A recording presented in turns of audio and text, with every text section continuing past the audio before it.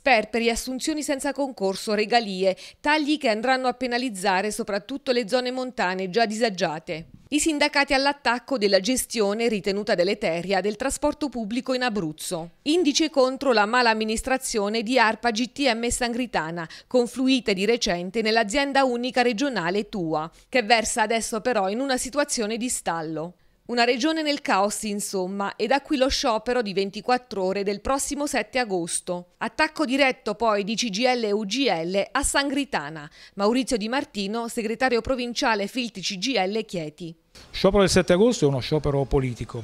Eh, la Filti CGL ha fortemente voluto negli anni che si facesse un'azienda unica di trasporto di carattere regionale Abbiamo ricevuto in campagna elettorale da parte del governatore D'Alfonso ampie rassicurazioni e promesse a che questo processo si facesse in una maniera diciamo così corretta, ma queste promesse oggi non eh, sono state mantenute perché per esempio noi contestiamo fondamentalmente il piano industriale che non rispecchia in maniera veritiera quello che è lo stato e le condizioni delle nostre aziende che dopo vi spiegherò in maniera più dettagliata. Contestiamo l'ulteriore affidamento di chilometri a vettori privati e contestiamo il taglio di chilometri nelle aree interne della nostra regione che già sono di per sé penalizzate, quindi figuriamoci tagliandogli ulteriormente servizi. Ma per quanto riguarda per esempio il discorso ferroviario, noi contestiamo il fatto che sul piano industriale sono stati dichiarati come mezzi utili per fare trasporto ferroviario circa 40 mezzi. In effetti oggi per il TPL vengono utilizzati esclusivamente 5 elettrotreni denominati Lupetto più un eh, ALN 776 denominato Aquilotto e stiamo lavorando già al limite massimo di utilizzo di queste macchine. Tanto è vero che quando una macchina ha un problema che non può essere riparato nell'immediato, si ha la soppressione dei treni perché non abbiamo le macchine giuste per poter effettuare completamente il servizio. Quindi le accuse che vengono lanciate al personale viaggiante che è un personale assenteista, un personale che usufruisce di malattie, infortuni, legge 104, permessi sindacali, è assolutamente falsa e noi respingiamo e rimandiamo indietro al mittente. I treni sono soppressi perché non abbiamo il materiale a sufficienza. Il personale lavora al limite massimo delle proprie possibilità, con una produttività notevole, e con l'impossibilità addirittura di poter usufruire di riposi e ferie programmate. Noi stiamo lavorando quest'estate senza poter fare le ferie. Questo è chiaro, deve essere un messaggio che deve essere recepito da chi invece accusa questa categoria di essere una categoria di fannulloni. Quindi dicevo 5 convogli utilizzabili.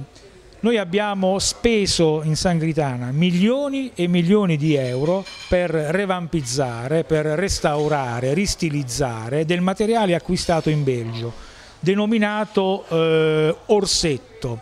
Sono treni, elettrotreni, che sono stati inaugurati più di dieci anni fa dal ministro allora dal ministro Fini e che a tutt'oggi, nonostante tutte le spese sostenute, non ancora riescono a percorrere un chilometro in servizio sulle linee ferroviarie.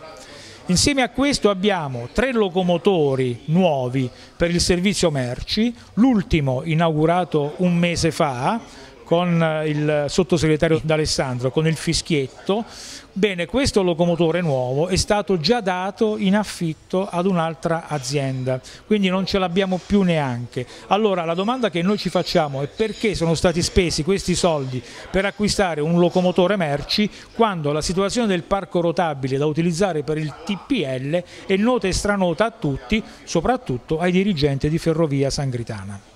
I nostri treni viaggiano ormai al limite anche della, dei vincoli che ci vengono imposti dalla circolazione ferroviaria. Stiamo registrando negli ultimi tempi dei ritardi che sono insostenibili e che non possono essere assolutamente addossati né al personale né alle macchine perché purtroppo nella circolazione ferroviaria i nostri treni sono nella gerarchia delle precedenze posti all'ultimo posto, quindi vuol dire che se c'è un Freccia Bianca in ritardo o un Intercity in ritardo i nostri treni vengono accantonati e quindi accumulano ritardo che dopo inevitabilmente si ripercuote per tutta la percorrenza del treno arrivando spesso a San Vito o a Lanciano con ritardi superiori ai 20 minuti.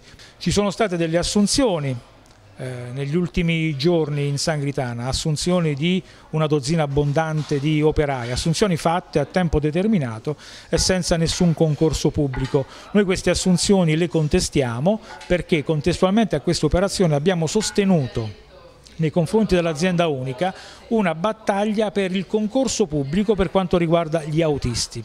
Allora noi sosteniamo che anche per quanto riguarda queste assunzioni, una volta finiti i quattro mesi del mandato, se ci sono delle necessità di assumere operai, che si venga fatto un concorso pubblico così tutti i giovani abruzzesi, non solo di Lanciano del circondario, possono avere l'ambizione di poter venire a lavorare nelle officine della ferrovia sangritana. Il cattivo costume che eh, si è perpetuato negli anni e che noi avremmo voluto che fosse posto a termine, cioè quello di elargire promozioni, elargire indennità particolari e personali ai lavoratori, noi avremmo voluto che questo fosse portato a termine.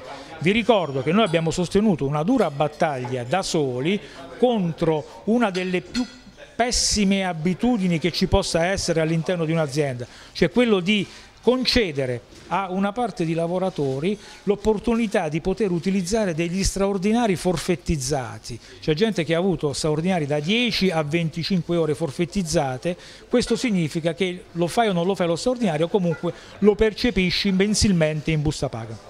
È una cosa che veramente non abbiamo più trovato i termini per poter denunciare questo, abbiamo sempre fatto la nostra parte, ci siamo riusciti alla fine quasi del mandato di questa amministrazione a porre fine a questa sorta di favoritismo, a questo punto noi pretendiamo che queste cattive abitudini vengano definitivamente a cessare.